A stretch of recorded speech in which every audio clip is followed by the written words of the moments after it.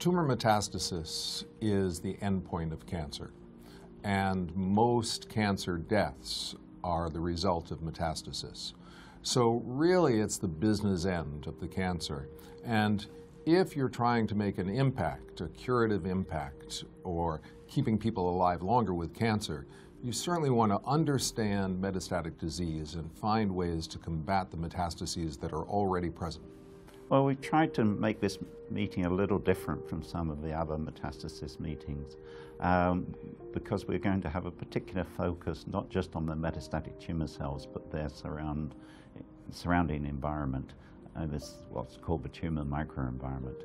And in that there are many, many cells which modulate the aggressiveness of uh, cancers, both positively and negatively, but generally they're enhancing metastatic disease and therefore important for the clinical outcomes. Perhaps the most exciting area is the uh, involvement of the immune system in metastasis.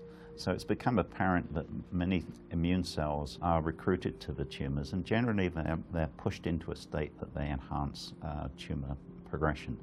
What's happened in the last few years is that we've understood how to block some of those enhancing functions uh, and uh, in fact turn the immune system so it becomes uh, so it starts to at attack the, the, cancers. Another exciting area that, that is coming to the fore is the ability to detect and predict the course of metastatic disease through circulating tumor cells or circulating DNA.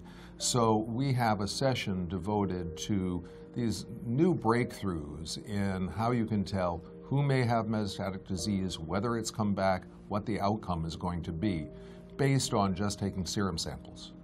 Well, I think that we will be at the state of the art for the area, uh, but particularly we've also tried to uh, have people speaking who are just out of their postdoctoral positions and now junior faculty who've done exciting work and are going to be presenting this. So I think this will help junior graduate students and postdocs to have aspiration of how to, uh, their careers will evolve and indeed that there is a future after the postdoctoral period. We've made, we've made a strong effort to bring in speakers that haven't spoken at this meeting before, who bring a new perspective and are not just the usual suspects.